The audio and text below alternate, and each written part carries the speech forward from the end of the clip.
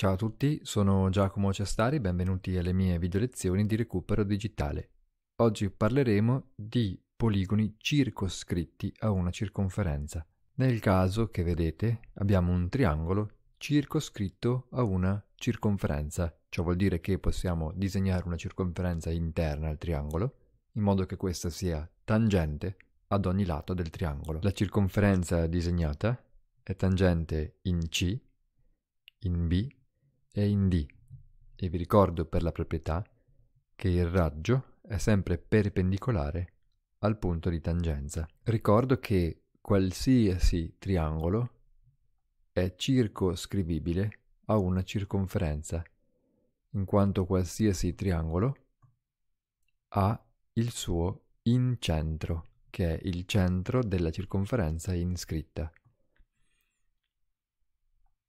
Infatti, per trovare l'incentro, noi tracciamo le bisettrici degli angoli interni. In ogni triangolo, le bisettrici degli angoli interni, come vedete, si incontrano in un punto, detto incentro del triangolo. Se questo accade per ogni triangolo, qualsiasi esso sia, non accade però con i quadrilateri. Non tutti i quadrilateri sono circoscrivibili a una circonferenza. In questo quadrilatero ho disegnato le bisettrici. Questa linea è la bisettrice di questo angolo interno in E. Questa linea è la bisettrice dell'angolo in D. Questa linea è la bisettrice dell'angolo in G. E questa linea è la bisettrice dell'angolo in F. Come vedete, come vedete, queste quattro bisettrici non si incontrano in un unico punto. Quindi questo quadrilatero non è circoscrivibile a una circonferenza. Se io sposto un vertice e cerco di far sì che le bisettrici degli angoli si incontrino in un punto, ecco che posso disegnare la circonferenza inscritta.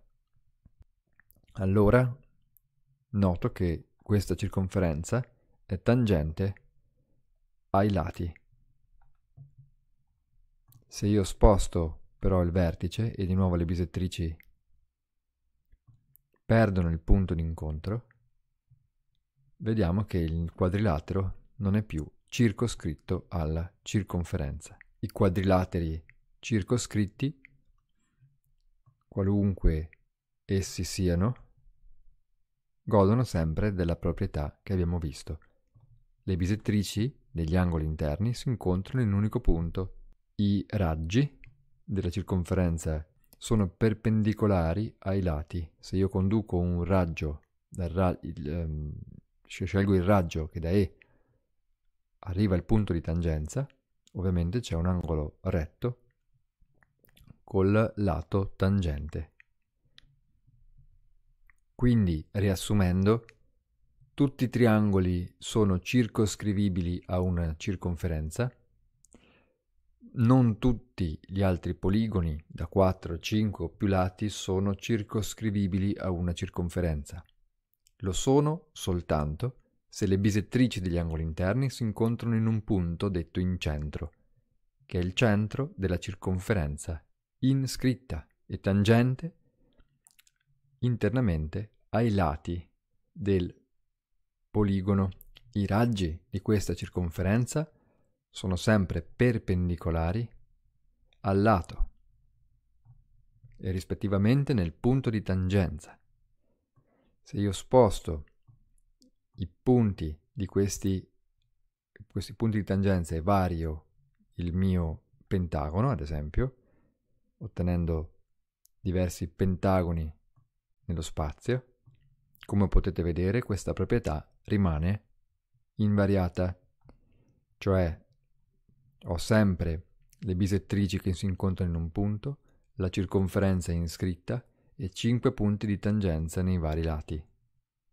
Ricordo su questa immagine infine la proprietà dei segmenti di tangenza, ossia se da un punto esterno alla circonferenza traccio i due segmenti di tangenza, zm e zn, questi due segmenti sono congruenti.